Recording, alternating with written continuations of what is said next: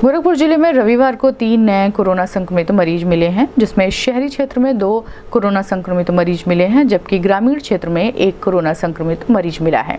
इसके बाद से ज़िले में संक्रमितों की संख्या उनसठ हो गई है।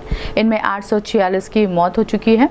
अंठावन लोग स्वस्थ हो चुके हैं, जबकि एक्टिव केस संतावन हो गए हैं। इस संबंध में सीएमओ डॉक्टर सुधाकर पांडे ने लोगों से विशेष सावधानियों को बरतने की अपील भी की है।